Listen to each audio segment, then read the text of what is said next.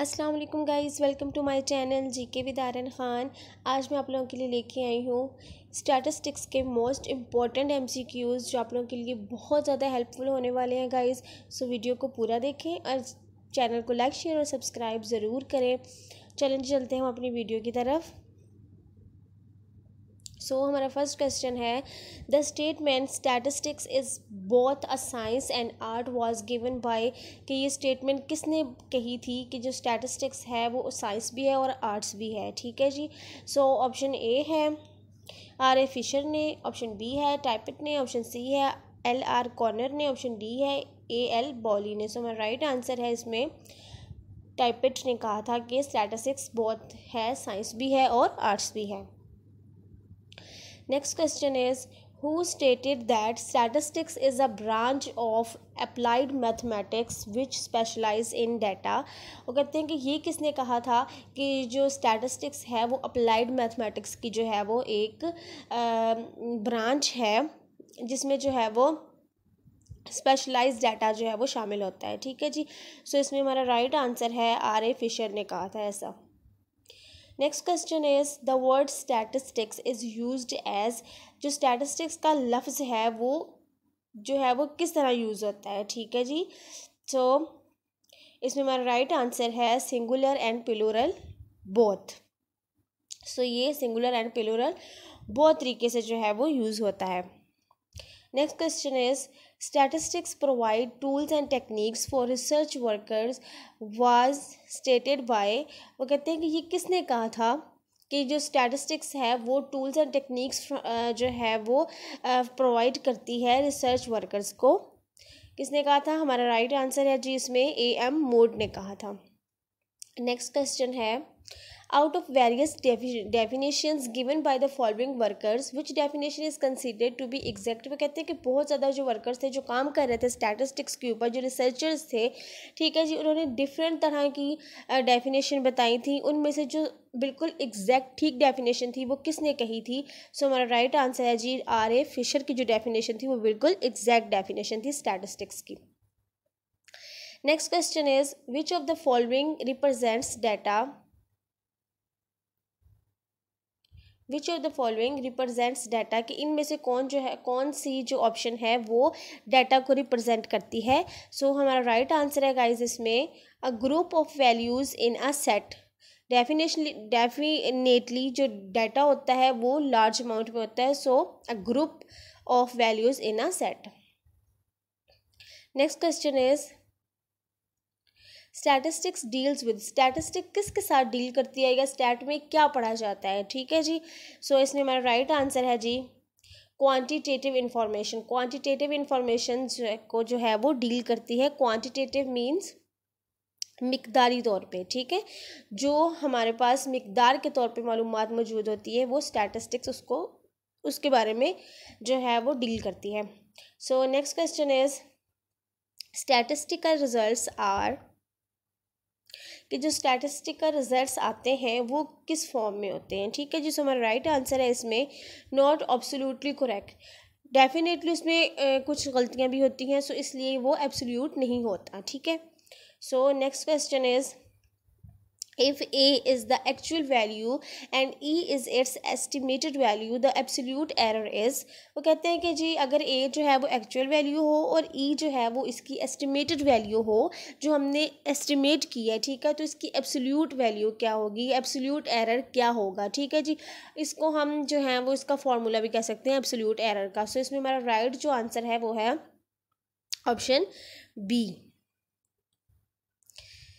Next question is if E is the actual value and E is its estimated value, the formula for relative error is अब वो कहते हैं कि relative errors का जो formula है वो क्या होगा ठीक है जिसमें हमारा जो राइट right आंसर है वो हमारा है ऑप्शन सी ये इसका जो है वो रिलेटिव एरर का राइट right फार्मूला है next question is data taken from the publication agricultural situation will be considered as वो कहते हैं कि जो हम इशात से जो डाटा लेते हैं ठीक है जी उसमें जो एग्रीकल्चर सिचुएशन है ठीक है एग्रीकल्चर का जो डाटा है उसे हम क्या कंसीडर करते हैं ठीक है जी?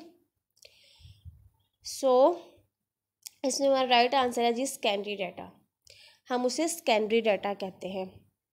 Next question is mailed questionnaire method of inquiry can be adopted if respondents वो कहते हैं कि जो मेल्ड क्वेश्चनियर का मेथड होता है मतलब मेल्स के थ्रू जो होता है, वो कब अडोप्ट किया जाता है? इफ़ रिस्पोंडेंट मतलब कि जो अगला बंदा है, वो क्या होता है या कहाँ होता है? ठीक है जी?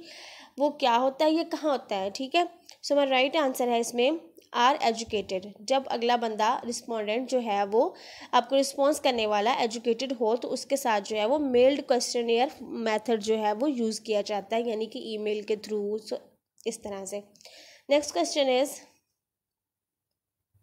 the statement designing of an appropriate questionnaire itself wins half the battle was given by वो कहते हैं कि ये जो स्टेटमेंट थी कि designing of an appropriate questionnaire itself wins half the battle ये क्या था कि अगर हम जो क्वेश्चन ईयर है, जो सवाल आते हैं, जो मदमशुमारी है, ठीक है, उसको अगर हम अप्रोप्रिएट डिज़ाइन में बनाएँगे, मुनासिब तरीके से हम उसको डिज़ाइन करेंगे तो वो क्या होगा? वो अब खुद ही जो है वो एक जंग जो है वो जीत जाती है। अगर जो हिसाब है या मरदमशुमारी है वो एक मुनासिब तरीके से डिज़ाइन की जाए। तो ये किसने कहा था ये स्टेटमेंट? सो so, ये स्टेटमेंट किसने कही कही थी गाइस ये statement option C H Hughes ने कही थी। So next question is statistical data are collected for statistical जो डाटा हमारे पास होता है वो हम क्यों कलेक्ट करते हैं? ठीक है जी? सो so, इसमें मेरा राइट आंसर है a given purpose given purpose के लिए जो हमें आ, हमारा जो मकसद होता है उसके लिए हम जो है वो डाटा कलेक्ट करते हैं ठीक है? So next question is relative error is always relative error जो हमने अभी पीछे उसका फार्मूला पढ़ा है वो कहते हैं कि वो क्या होता है हमेशा क्या होता है? ऑप्शन ए पॉजिटिव होता है ऑप्शन बी नेगेटिव होता है option C both A and B option D zero होता है। सो so, मेरा राइट आंसर है जी इसमें बोथ ए एंड बी यानी कि रिलेटिव एरर्स पॉजिटिव भी हो सकता है और नेगेटिव भी हो सकता है। ठीक है जी next question is statistical errors refers to ठीक है अब इसको हम फॉर्मूला भी कह सकते हैं या स्टैटिस्टिक एरर को हम मतलब किस तरह से डिफाइन कर सकते हैं सो so, इसमें हमारा राइट आंसर है गाइस एक्चुअल वैल्यू को माइनस करेंगे हम एस्टिमेटेड वैल्यू से हमने पीछे जो है वो ऑप्शंस में इसकी जो है वो पढ़ा था इसका जो स्टेटमेंट है। सो so, इसका जो फार्मूला है स्टैटिस्टिकल एरर को हम किस तरह से निकालते हैं? एक्चुअल वैल्यू जो होती है उसे हम माइनस करते हैं उसकी एस्टिमेटेड वैल्यू में से। So next question is method of complete enumeration is applicable for वो कहते हैं कि जो कंप्लीट हिसाब किताब का जो मेथड है तरीका है वो किस चीज़ पे जो है वो एप्लीकेबल होता है? लागू होता है। सो हमारा राइट आंसर है गाइज़ इसमें आल ऑफ़ द अबव यानी कि नोइंग द प्रोडक्शंस हमें जो है वो अपने मुल्क की प्रोडक्टिविटी के बारे में पता होना चाहिए। Knowing the quantum of export and import हमें जो है वो इम्पोर्ट एक्सपोर्ट की जो मकदार है उसके बारे में भी पता होना चाहिए। नोइंग द पॉपुलेशन पॉपुलेशन के बारे में पता होना चाहिए। सो so, ये सारी चीज़ें जो हैं वो मेथड ऑफ़ कंप्लीट नंबरेशन में आती हैं ठीक है? Next question is A statistical population may consist of, वो कहते हैं जो स्टैटिस्टिकल पॉपुलेशन होती है, वो किस चीज़ पे मुश्तमिल होती है? ठीक है जी? सो ऑप्शन ए है an infinite number of items option A option B है a finite number of items option C है बोथ है एंड बी ऑप्शन डी है नन ऑफ़ दीज सो हमारा राइट आंसर है गाइज़ इसमें बोथ ए एंड बी यानी कि infinite number भी होते हैं जो लामहदूद होते हैं और इन्फिनट इन्फिनट लामहदूद होते हैं। फिनट जो है वो महदूद होते हैं। ये सारी चीज़ें जो हैं वो स्टैटिकल पॉपुलेशन जो है वो इन दोनों पे ही डिपेंड्स करती है। ठीक है जी? So next question is which of the following example does not constitute an infinite population वो कहते हैं कि इसमें से कौन सी एग्ज़ाम्पल है जो कि लामहदूद आबादी को जो है वो के हामिल नहीं है मतलब कि उसको शो नहीं करती। ठीक है जी सो हमारा राइट आंसर है गाइज़ इसमें। Population of heights of fifteen years old children यानी कि जो आबादी है पंद्रह साल के बच्चों की लंबाई की या हाइट की। ठीक है जी? ये जो है वो इन्फिनट पॉपुलेशन में शामिल नहीं होता मतलब कि उसकी एग्ज़ाम्पल नहीं है ये। So next question is which of the following can be classified as hypothetical population वो कहते हैं कि इनमें से कौन सी जो पॉपुलेशन है हम उसको हाइपोथेटिक हाइपोथेटिकली जो है वो क्लासीफाई कर सकते हैं। सो so, इसमें हमारा राइट आंसर है guys population of real numbers between zero and hundred इसको हम हाइपोथेटिकली पॉपुलेशन जो है वो हाइपोथेटिकली पॉपुलेशन में क्लासीफाई कर सकते हैं। ठीक है जी? Next question is A study based on complete enumeration is known as वो कहते हैं कि जो मुकम्मल हिसाब किताब का जो स्टडी होती है, वो किस चीज़ पे बेस करती है? ठीक है जी? तो इसमें हमारा राइट आंसर है सेंसस सर्वे पे, जो हमारे मरदमशुमारी के सर्वे होते हैं, उस पर बेस्ड करती है।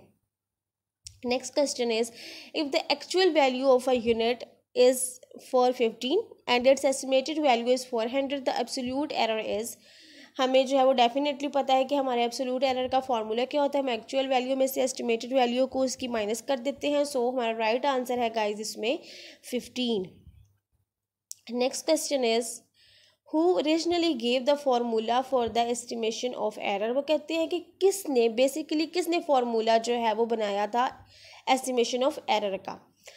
ठीक है जी।